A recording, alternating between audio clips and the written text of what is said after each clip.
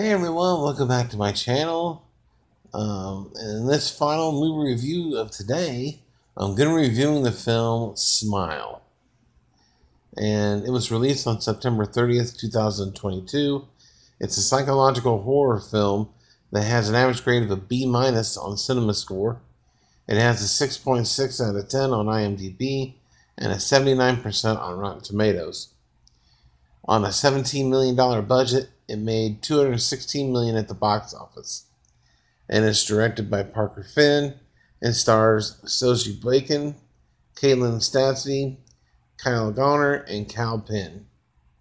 Or excuse me, Kylie uh, Garner and Kal Penn.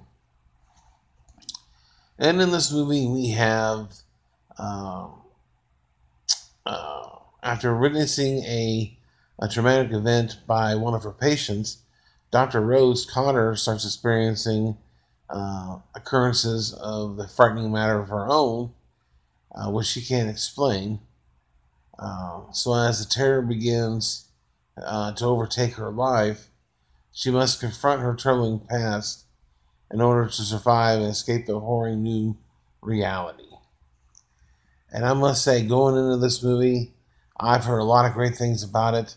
A lot of people were uh, say nothing but good things about it. And now I know why. This was this is definitely one of the best uh, horror movies of the year. Uh, will this crack my top ten? Possibly.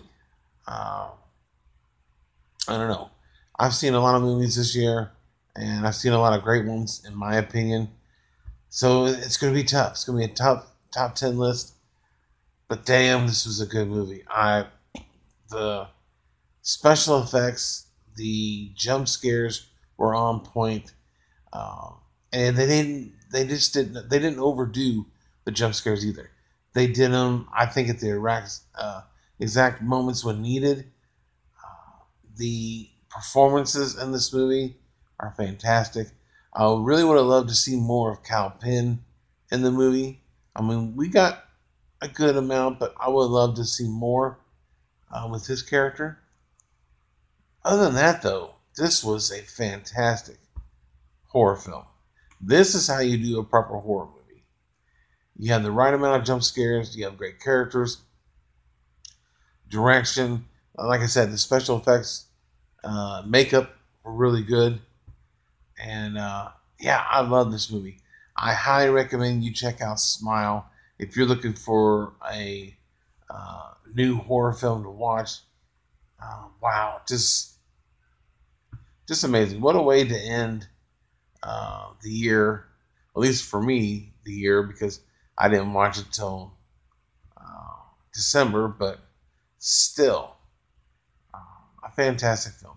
And I only have about six or seven more movies that I want to watch this year, and that's it.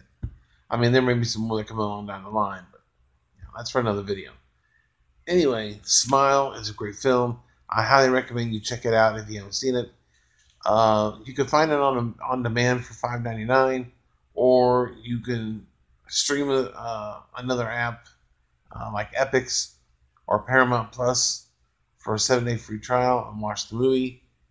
Um, and then be done with it, I guess. I love this movie. I'm going to give Smile a 10 out of 10 and two thumbs up. Just fantastic. So, in the comment section below, give me your thoughts and opinions. And do you think this is the top 10 uh, worthy movie of 2022? And where do you rank it amongst the horror movies of this year? Let me know in the comment section below. And as always, if you're new to the channel, don't forget to hit the subscribe button hit the notification bell, and if you like the uh, review, hit that like button.